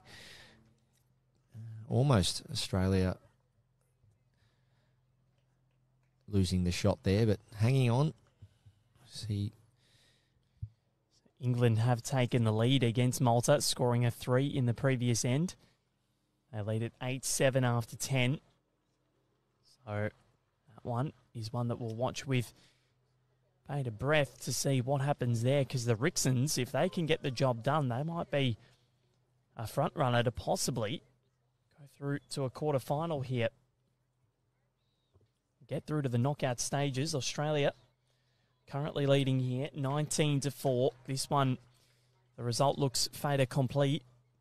Yeah, it's a, it's trying to cash in on, on the on the surplus here, Val. So just trying to get as many shots up as possible. As you see here, yes, it's a nice one to Australia, and you know you could just try and draw another for two, but there is an opportunity to sit the nearest bowl of Zimbabwe out to make four or five, or trail the jack for four or five. And Ellen Ryan just indicating with Kristina she's going to come down on the back end here and just try and trail the jack. Bowl jack would be the perfect result. Is going to get back in time? She's trying hard, Ellen Ryan. It's turning hard now. Just wants some jack movement. Well, Almost. Just, just draw another. How on earth? Another. How on earth she find that gap without touching the jack? That's unbelievable. But another one, Aussies, and I reckon that'll be two, I believe. We'll uh, find out when the when our scoreboard attendant marks it down. That is a two. So 21 to 4 is the Australian lead, and a really important one for the Aussies as well, because when you look at the shot difference for the Australians, they're plus nine, England plus 36. So Australia, as they look to chase that down and get themselves a healthy shot difference, they'll, uh, this will go a long way because a live shot score of 26. What about pineapple on pizza, Val? See, I'm one. I'm. It's a, it's a no for me. I'm a weird one. So I'll get a Hawaiian. I'll pick the pineapple off. Oh, So sometimes the little extract of pineapple's not too bad, but I don't like the full on. Oh, you've gone there. Okay. So I know what you mean, but yeah, but right. yeah, generally just a my pizza. I love it pepperoni with ham okay. or a meat lovers. Yep. I remember I was in, uh, playing bowls uh, in England at uh, at Potters at the World Indoor Championships, and my jet lag had me up a little bit late one night, and um, yeah, I was bit hungry. I'd only been uh, over there for a day or two, and Yep. I called up the local pizza shop, and I said, "Oh, can I just have a, yeah, just a large pizza? You know, just the just the usual, you know, your The ham, usual. your ham, your cheese, Yeah. your tomato, all that, just all the regular Yep. components to a pizza." this pizza turned up and it had sweet corn on it. What the hell is sweet corn? and I uh, I took a couple of bites. Now I, I love corn. You know, I love tuna. I love you know, I pretty much love everything. There's a couple of things I don't like. Coriander definitely being. See, I'm a very fussy eater. I'm the complete opposite of that. But when this pizza arrived, I was with a couple of the the uh, English players and a few other players, and I said to them, "I'm sorry, I cannot eat." I, I think I had two mouthfuls, and I said, "I cannot eat anymore." The see the what the corn did, it completely, it just Overpowered. consume the whole pizza with Oh, no. flavour. And see, that's why I don't have pineapple on my pizza because the pineapple for me just consumes the other flavours. Yeah. So that's where I, I understand where you're coming from with the little bit of pineapple. Yeah. So it's Yeah. not too bad, and you still get those traditional pizza flavors. It's like I don't mind if a pizza's too cheesy, but if it's too saucy, then I'm not happy. Yes, okay, I get you. Yep. I don't like a wet pizza. See, I, I, I- I, can have a little bit of um, anchovies, but I can't have a lot. Nah, no chance. And I can have, I can just have some sardines on toast. Oh no. See, I love my sardines. I love my tuna. I love my salmon. I love, and I love anchovies just straight from the container. Oh, you're a better man than I, Baz. Braver man than I too. Well, they're good for you too. So um, they are, but I won't go near him. and and knowing what the foods are good for you. So let- let's look at these athletes. For example, the Australian Institute of Sport. In the training we've had over the years, we have nutrition and and uh, we have definitely dietary sessions. And They would them- hate me, I reckon, yeah, probably because. I don't like. I'm a very fussy eater. I'm as basic as it gets. one of them to come of it was um, one of them to come was definitely you know your omegas, your omega threes and, and all that. So and they're high concentration foods, your sardines and and tunas and so on. So uh, these athletes now know what food to eat and how it will complement performance in terms of concentration, energy, and so on. So it's just amazing to see um, the the support they get off the AIS and all the education. Ellen Ryan, that is magnificent. And if you can't access something like that yourself, jump online and, and have a look around, and you'll notice that there's a lot of good stuff out there um, to to not only help your performance in just the way of diet and exercise, but um, all in all, majority of people out there giving the game a go probably want to improve at some stage, and it might not just be where your bowls finish; it might be just how you set up and prepare. As we see here, well, Jane Rigby not too Very far away. close. It might be, you know, your little wins, your little five percent improvements, ten percent improvements might be just the way you're uh, um, setting up in your prep in terms of food and and uh, and nutrition and, and diet. I wish pizza was a superfood, Baz. I'd be one of those health uh, health people that just uh, continues to preach about body as a temple. Unfortunately, pizza isn't a superfood, and Ellen Ryan is a superhuman. Yeah, that was perfect speed from Ellen. So forehand with weight. Just the beauty of that weight was that bowler got hit up. It stayed around the head, so she could have looked to try and really play that with more more touch, I guess. But um, the way the weight control was there, as we see Jane Rigby, well, clear road, nice attempt, beautiful weight. Um, and we speak about that a lot, the contingency. So Ellen knew that if she tries, just just plays that yard of weight, if she misses, she'll finish in a good home. If not, she'll turn that bowl up into the head. And as we saw, it stayed around, and it is counting. So it's three to Australia at the moment. But uh, once again, this score, as you see those bowls in there from Zimbabwe, they're right in amongst it. This score really isn't, you know, showcasing the the, the, performance of all the players, uh, giving giving it their go, and um, but the conditions this morning, as I've touched Yeah. on, uh, they are perfect. Val, like players, this is outside maybe another second or two of pace in the green. You know, and you can't do much about that with the moisture from the overnight rain. This it doesn't get any better than that. Um, beautiful cover on the green, nice drawing hands, and hardly a breath of wind.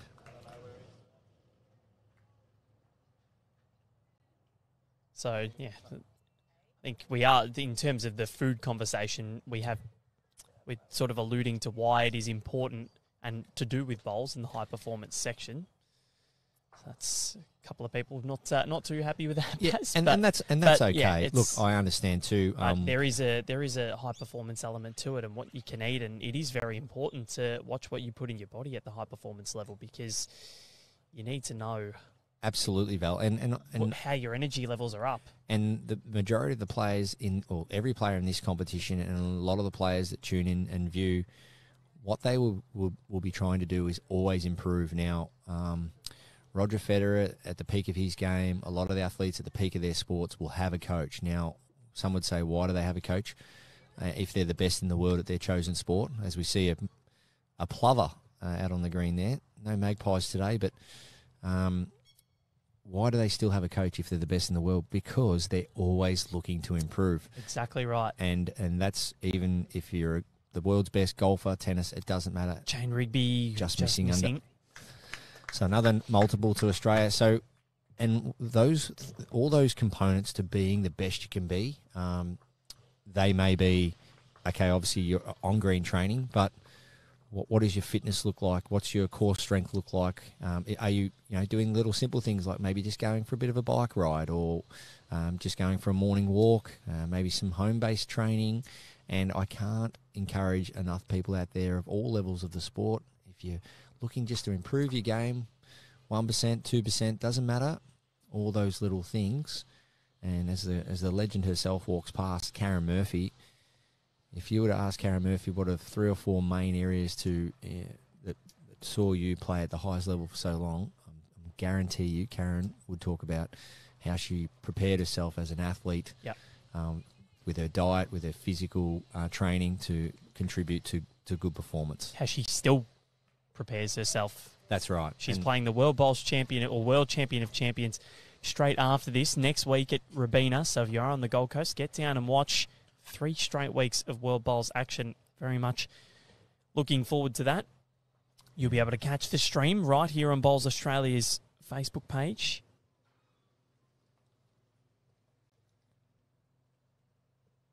And very much looking forward to seeing what Kaz and Jono Davis can do. There's a lot of good players playing there. Is Adsel Kepler, the runner up from last year, and then also Selina Goddard from New Zealand, Sheldon Baggery Howley, Ed Morris from England. I, uh, just one of the ones, uh, Val, just while we're touching on, on that component of, of being a better bowler and, and a better athlete as such, is I think the best example is is probably when you look at something like the Tour de France. Oh, 100 How they how they have to keep refueling. They don't have to put petrol in a bike, of course, but they have to keep refueling their body um, while riding that bike at such a pace. You know, they have to. Uh, they've got their little their little packs in their yep. backpack there, and they put it. They got they got little juices and yep. fruit and stuff like that. So but it is all. They know they exactly. can't win that race without keeping fueled, and um, and that is what the now.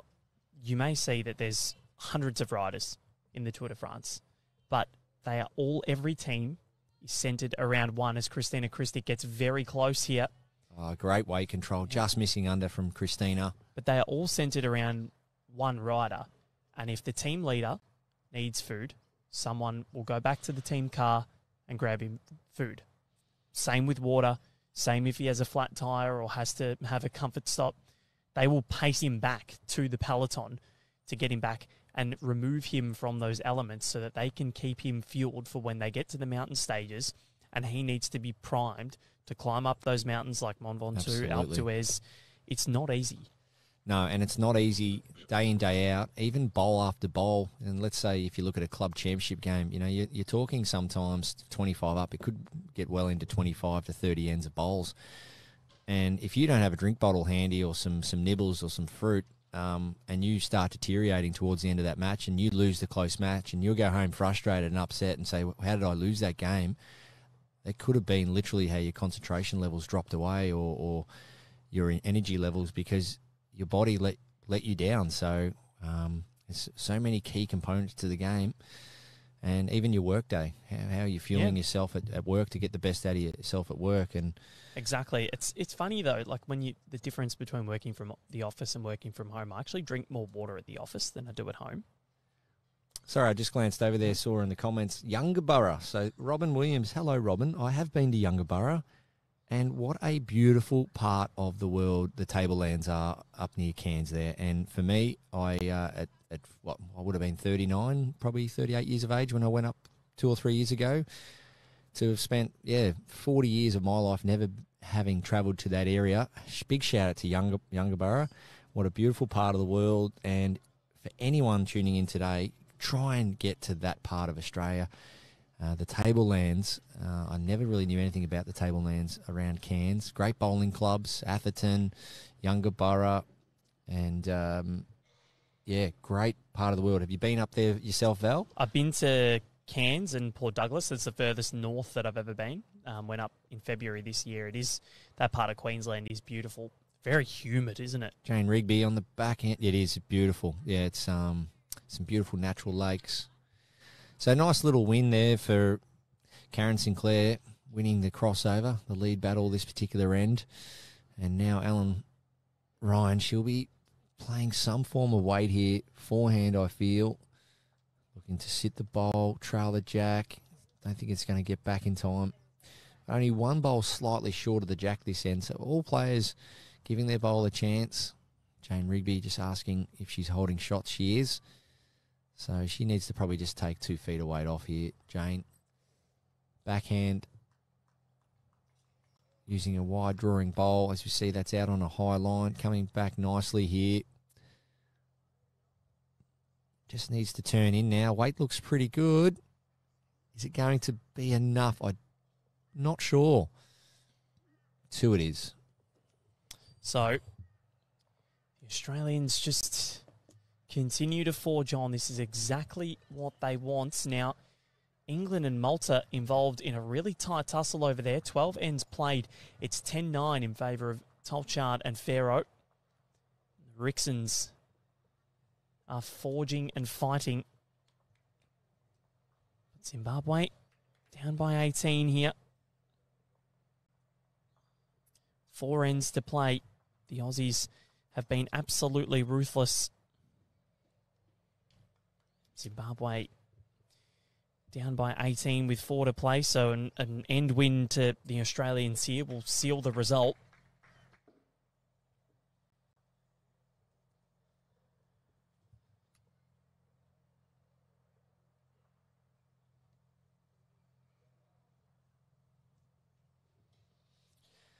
So green speed for me just on 14 seconds. And the way this bowl's heading this direction right now, it's heading to the east. And it's heading towards a slight, slight easterly or slight southeasterly breeze this morning. But it's definitely one of the calmer days we've had so far, Val. We, um, we've seen some decent winds in and out the days since we've been broadcasting the uh, probably about a month ago there was not much wind around at all, and we've just had probably a, a bit of a front come through the last month to six weeks where we've had that southeaster coming through most days. As Ellen gives Kristina a massive applause there, saying great start, and that's that's ideal. You know, Jack high in and around the jack first bowl, just giving it a chance on a long length, jack length around about thirty two meters. So a long length jack into that slight southeaster, as we see here. Karen Sinclair needing to correct. Well, it's a pretty good bowl. Well, two foot short, but it's uh, probably probably the longest end for the match, having the jack just off the tee and the mat right back. So players really having to lunge into this, a bit more body weight, a bit more. Yeah, that's done enough, Kristina. So really good shot from her. Two good bowls. We're going to see Karen Sinclair change over to the forehand here. More options forehand, so she can afford to arrive, sit bowl or trail jack, or work in behind the jack and give her skip Jane Rigby a bit of an opportunity. So forehand, even if she goes in the ditch, she would have uh, given Jane a good look. So ideally, you don't want to go in the ditch, but if you happen to trickle into the ditch trying to arrive for your skip, at least it gives your skipper a, good indication on how that shot looks. Whereas if you fall six or eight foot short, that's not going to give your skipper a look at all. They'll be still left wondering on what the shot looks like. So there is some contingencies to come with that. Um, if you're a lead. So Kristina, same thing here. If she doesn't change anything, even trickles into the ditch, she still gives Ellen a full look at what the shot looks like. And and uh, now Jane Rigby's left guessing a little bit. Uh, what's it? How's it going to turn? What's the weight look like? But I'm sure a play of her ability, she won't be a far away here. The way this head sets up. Not at all. So Australia, the situation is with three ends to play after this. They win the end, they win the match. They lose the end, they'll most likely win it on the next end. They have been sensational from go to woe. They've dropped four ends in this match, raced down to a 13 0 lead. Zimbabwe scoreline definitely doesn't reflect how close they've been to the head at a lot of times. Australia have just been absolutely on, and they've drawn three in really close when Zimbabwe have had a few not too far away. Yeah, and what I particularly like here, Val, is Zimbabwe scored on the previous end. They've gone ditch to ditch, well, pretty much the longest. And what Kristina did is replied straight away. So that's a great sign that both players are in rhythm. They're finally tuned here for all the lengths. So Kristina didn't roll the jack. Zimbabwe did, and she responded with two bowls inside a foot. Yeah, you're exactly right. And looking over, as it looks like Malta could be holding three or four on that far rink over there. They're down 10 9. Yeah, very, very formidable pair. Malta, the Rixon girls. Um, you know, they've played, well, they've come up for, through the Queensland juniors and gone on to the highest of heights. And it's just great to see once again the two sisters going at it with the support of their dad up on the grandstand there. Always got the camera with him. He's a really good photographer for bowls. He's snapping away there. And, um, well, so yeah, so I wouldn't be surprised if they don't push England all the way or potentially come away with the win. But yeah, it's a big, big matchup, like you said, Val. Well, Connie and Rebecca got uh, bronze at the 2018 Com Games in women's fours. As that one, well, that's probably just rocked Ellen Ryan in for third there. So that's a bit of a disaster for, from a Zimbabwe point of view. England have wrestled shot back, so 11 9 the lead to the English after 13 over Malta.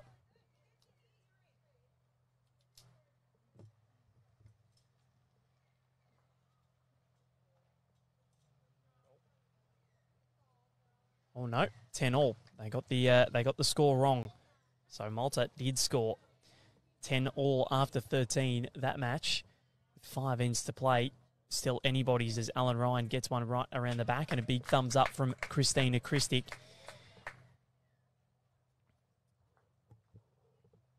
So the Aussies continue to push and the match, well, with a four there, all they had to do was get a one. The result is determined. Australia will win. It's just a matter of by how much now. They lead it by 22. Very healthy for the shot difference. Barrie Lester yeah, there's always that extra component to these matches, and that is trying to cash in onto the shots when you can. And um, yeah, it's just the way the game does present itself.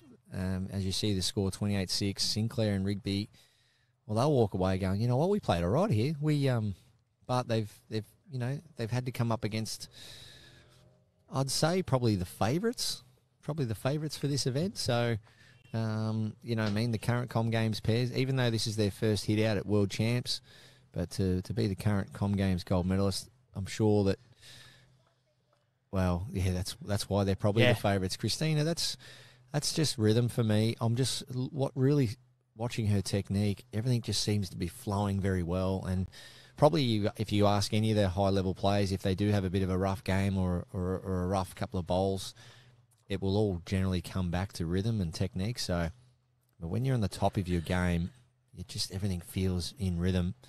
And generally, the best way to do that is to work on your on your technique, work on your game, and then go out and put the hours in. And that's what Christine and Ellen do. They train hard, and uh, they really work on this on their game and their technique. And as we've seen recently, they've been rewarded heavily.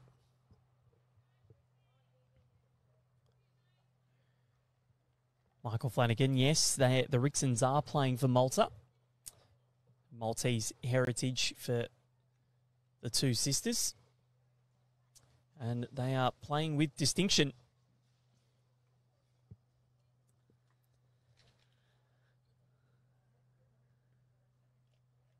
Absolutely brilliant performance from Ryan and Krstic this morning.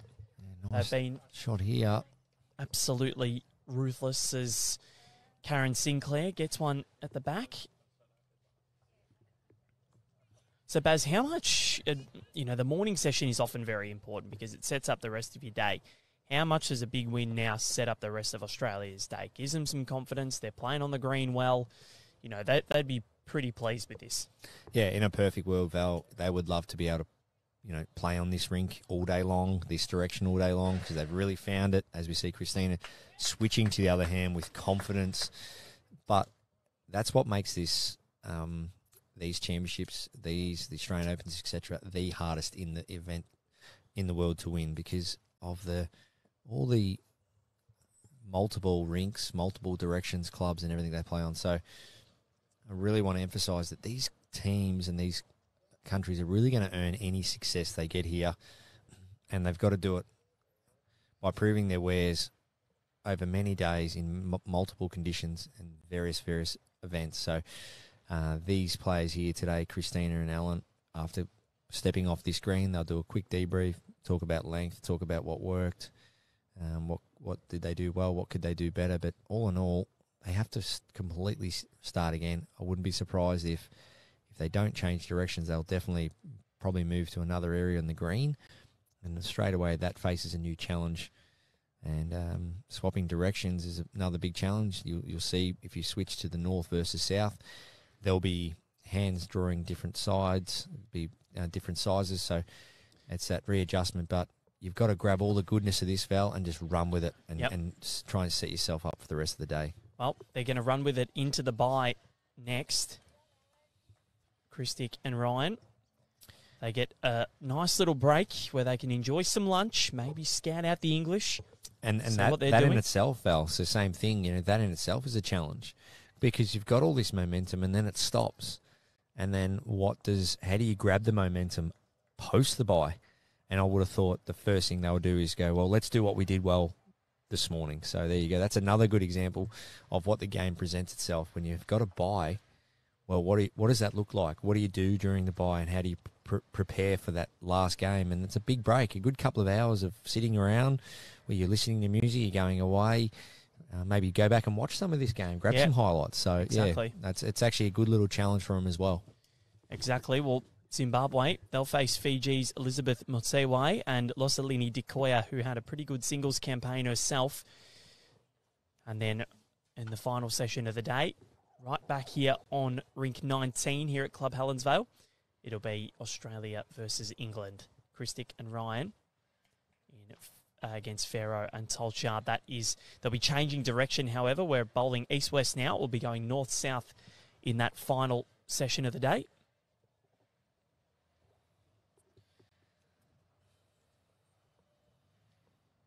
Australia have been monumental this morning. Should be very proud of this.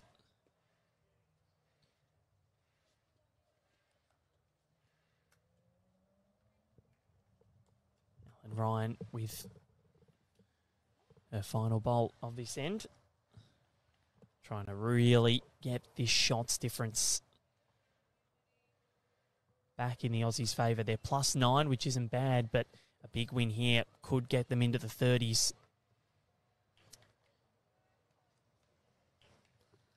Johnny Pierce asking, Baz, maybe we'll get your answer after this bowl from Jane Rigby, but is match play the best form of practice?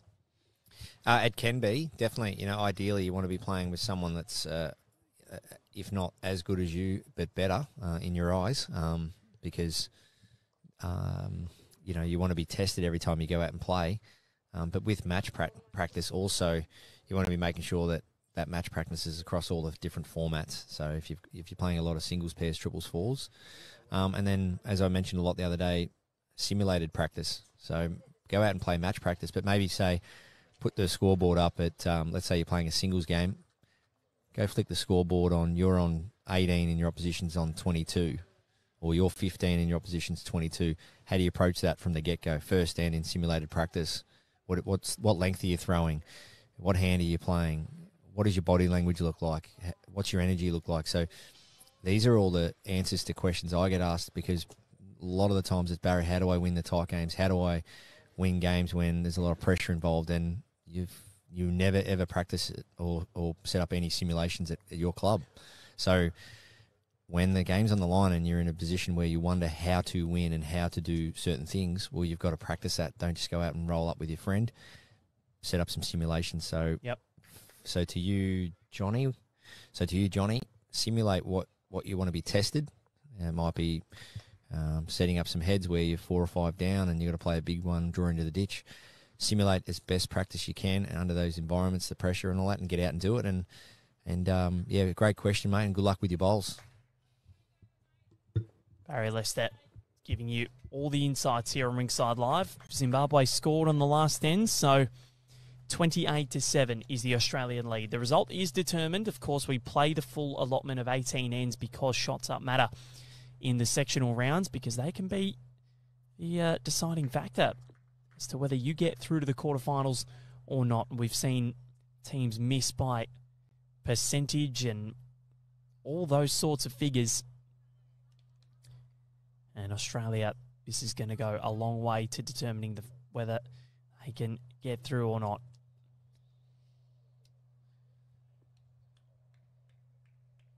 Up next, Aaron Wilson. Baz, he'll take on Tony Chung, a very good singles player in his own right, but Aaron. Wilson, he is in a very fast mood. Yeah, I've had some good battles with Tony over the years um, in singles, and yeah, there's there's no doubt about he can play, and um, he he's got a pretty much every shot in the book, and yeah, Aaron will have his work cut out for sure. He will know that. Aaron, you know, he's been around long enough now. He he knows what the players are capable of, and but Aaron will just stick to what he does, and that's um, you know be aggressive when needed, but Aaron's um, the all round player and such a confidence player. You know, early on, he, if he gets a couple of shots um, working out for him, Aaron, yeah, he definitely grows another leg. I've had the pleasure of watching Aaron come up through the ranks since he was probably 15, 16 years of age. And I remember the first time I ever saw him, I just said, yes, this guy's definitely going to make it. I uh, couldn't wait to couldn't wait to um, play alongside him one day. And fortunately enough, when he debuted for Victoria, uh, I was in the same rink as him, and guess what? He went and did. What did he do? Player of the series. Ha, of course. Player of the series. So uh, Aaron Wilson's first series was against the ACT at Wangaratta Bowling Club. And the rink was Matthew Flapper, myself, Dylan Fisher, and Aaron Wilson. So, well, four internationals actually. So Matthew Flapper knows how to pick a rink, doesn't he? Um, Certainly does, Matty Flapper. He's a he's a star. He's not just a good bowler. He's just a ripping bloke, and you see him at the Bowls Premier League. And how wonderful would it be to have someone like Matty Flapper on your team? You have had him on your team before, Baz. Um, you know, he's just such a booming presence, isn't he? Yeah, definitely. And um, Matthew Flapper, well, he's uh, he's a big he's a big name, big personality, but puts back into the sport all the time, which is And great. He, and does. He's you know the coach of the Victorian junior team. Just pulling up there, Jane. Jane Right. Rigby just uh, still probably finds herself two down, but yeah. So Aaron Wilson, um, that first series, he came out and played second, and just looked at home playing open state level bowls, and uh, since then really hasn't really hasn't looked back. Um, Aaron, he's um, had his uh, had a few different stints in New South Wales and back in Victoria, and that's the the challenges of you know trying to make it in a high level sport and as an athlete. And Aaron's um, been well supported by Cabramatta Bowls Club. He's had his time down there at Brighton as well, and yeah, so great to see Aaron in action again this week in singles, and yeah, he's uh, recently engaged, so Yes. spoke about things off off the green about setting all that up, and Aaron's now got a beautiful little daughter, and I said to him the other day, just yell out when you want an MC, mate, because I MC'd your brother's wedding. I don't mind doing yours as well. So Ah, very nice. What about will DJ Blessed make an appearance?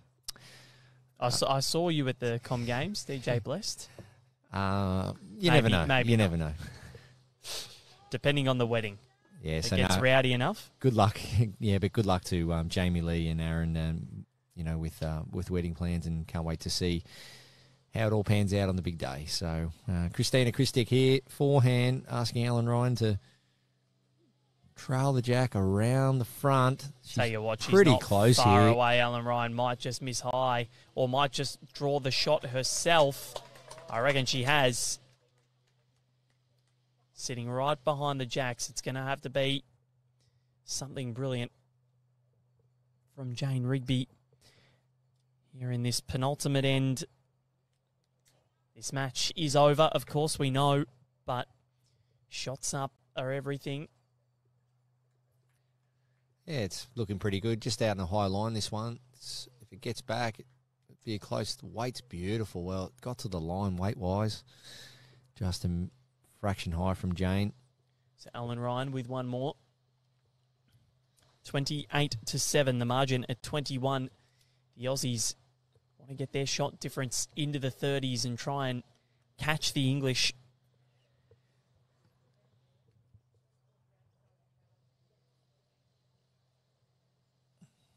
Yeah, so having a chat here with Karen Murphy is Ellen Ryan, and so now is Kristina. So this is.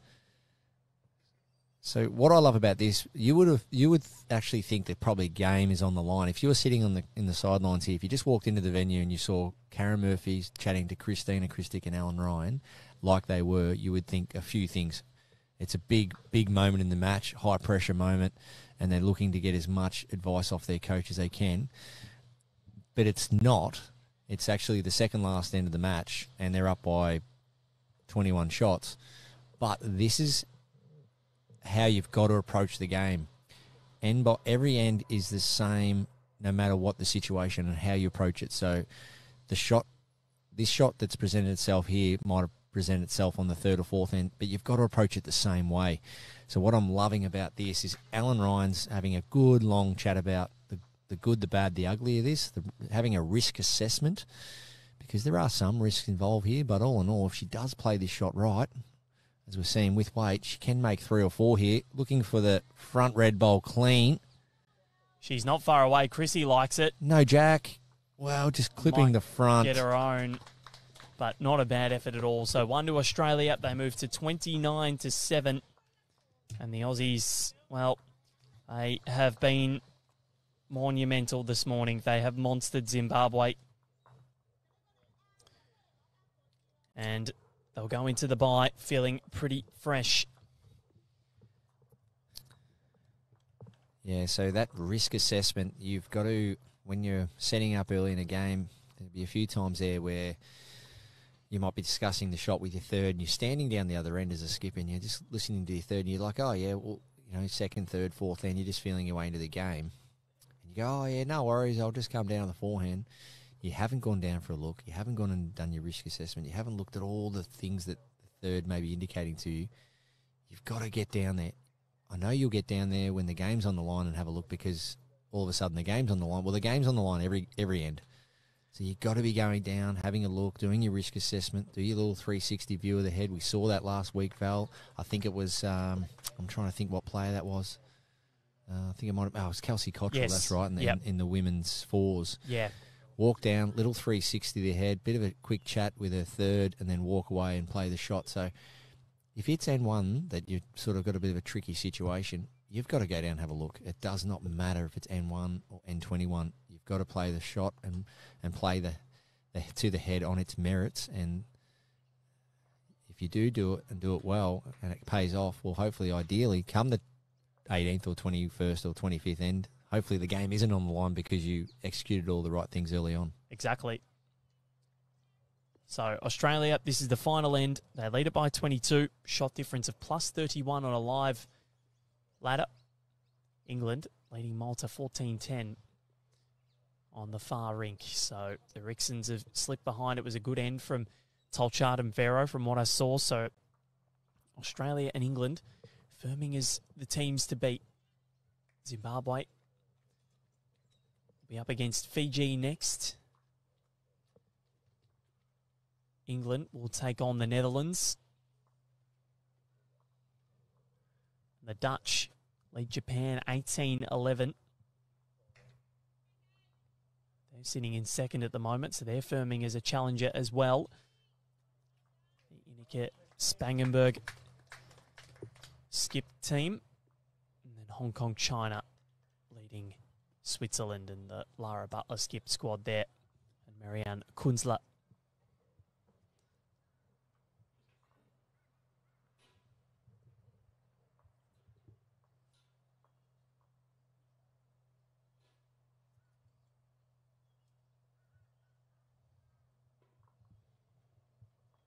Twenty-nine to seven. Australia have been. This is the exact way they would have wanted to start this day.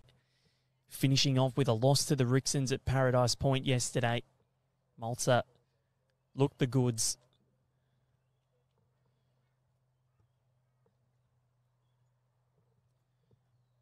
They haven't been able to stop England so far, but that match still has, I think, three ends to play. That's after 15, so three more to go. Malta still very well and truly in that one for the fans of the Rixons there, the Australians.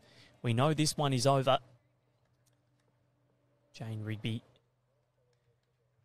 2002 Commonwealth Games participant. And in Manchester, Jimmy Reynolds also also still going from Manchester. Alex Marshall was there as well. Australian national coach Gary Willis was part of the Australian team there at Manchester in 2002. Ellen Ryan with her penultimate bowl of this contest. They zoned in early, Baz. One on the first end. It was a tight one. Ellen got it with her last bowl. Then a two and a four. Really broke it open. They raced out to a 13 0 lead after six, the Aussies. And the score at the moment, well, they're averaging over one and a half an end, which is pretty impressive in an 18 end pairs game. Yeah, and, and well done to Zimbabwe as we see Jane Rigby nearly getting a backflip there into the into the count. Um, once again, played some beautiful shots, played some great heads, but just getting outnumbered by the Aussies. There was probably at least half a dozen heads there at most other levels of the game. You'd be walking away with multiples, but way uh, the girls have just set some of the heads up, Kristina and Ellen, being able to dictate terms, and that's what's created the the big deficit. Just the amount of bowls in the head in good good positions.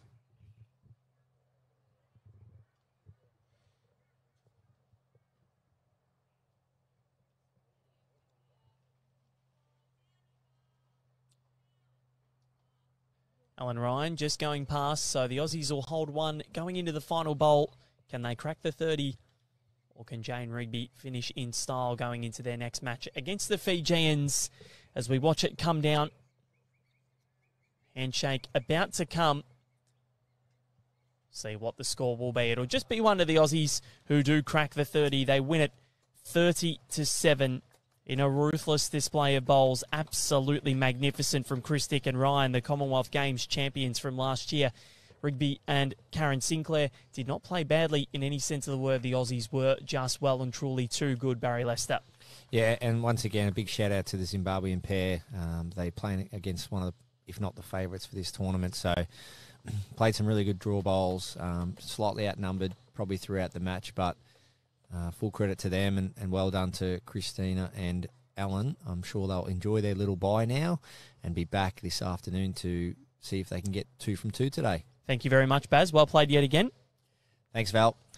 So, Val Febo and Barrie Lester here with you on Ringside Live at Club Helensvale. The Australians, Krstic and Ryan, have got the job done over Zimbabwe. Sinclair and Rigby 30 to 7 in a brilliant display. We'll be back in just over an hour's time because it's going to be Aaron Disco Wilson up against Tony Chung of Hong Kong, China. That's men's singles action coming your way after this before Ryan and Krstic yet again in the Commonwealth Games final rematch against Tolchard and Pharaoh in the final session of the day. We'll catch you soon.